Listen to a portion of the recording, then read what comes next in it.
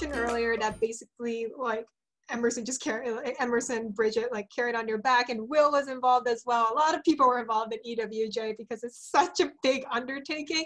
Basically, this is what happened when I thought about EWJ all the parents ask, how can my child, children improve their writing skills? And I'm like, by reading and writing every day. And they're like, okay, well, what should they be reading? I'm like, great question. You should read the classic books, newspapers, and magazines.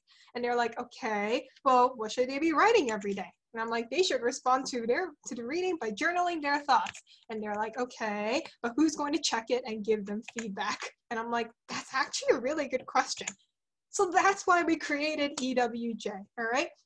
The idea is to form positive habits by reading not just fiction and literature, but by reading sort of reputable periodicals on a regular basis. And so we really go back to the basics, such as New York Times, um, we have Atlantic articles, New Yorker pieces, and we really want students to reflect on the world at large, all right? We also do our very, very best to produce regular, individualized, and personal feedback on our students' work the team has done a phenomenal job. Actually, we had to, I mean, there was just so much demand, and this is such a popular program. We actually had to double the team halfway through to make sure everybody was getting their individual and personal feedback because poor Emerson was just like, wow, there is a lot of reading to do.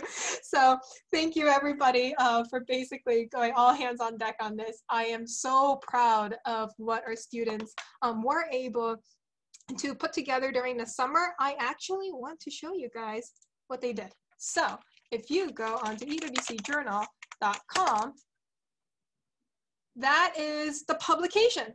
All right, so this is obviously during the summer. It went for six weeks during the summer. Students were reading and writing every single day. Um, we have science and tech pieces. We have creative writing pieces. We've got sports and arts, right? Um, and well, that's about us. But we have a ticker down there because remember, kids were reading and writing every day during the summer. And so the news is pretty fresh. We've got a phenomenal team.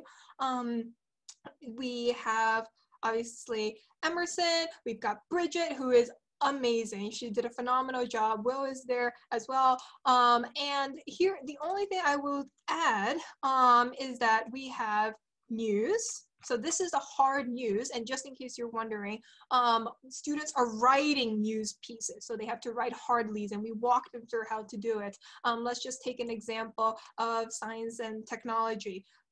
I know a lot of kids are interested in science, and they're like, we don't like writing, and I'm like, but if you study science, you, you have to write anyway. So they write about science here, okay? Um, some of the kids got really excited about some of the topics and was like, well, can we write columns? I'm like, yes, you can write columns. So somebody wanted to write a Jane Austen column. Feel free to read everything you ever need to know about Jane Austen here, okay? Um, we have younger kids in here as well. This is on the Fitz. Emerson, why is it called on the Fitz?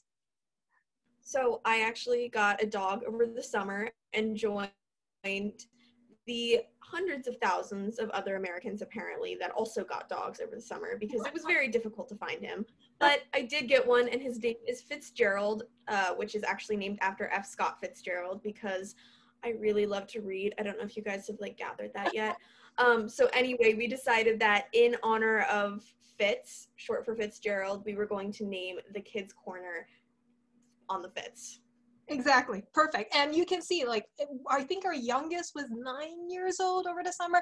Honestly, we just want kids reading and writing. That's that's really the purpose of EWC Journal, and for us to give them feedback. So this is what um, our kids have basically been working on uh, in the summer, and I am incredibly, incredibly proud of them. Uh, this is going to be on a monthly basis uh, sorry, excuse me, a monthly subscription during the school year. So we will still be sending out daily reading, but we also know that like you guys are busy. So um, Bridget and Emerson have talked me into having you guys do three pieces, a minimum of three pieces during the week. One news, one letter to the editor, and one feature, whether it's science and tech, sports and arts, or a creative writing piece. And they'll be due Sunday.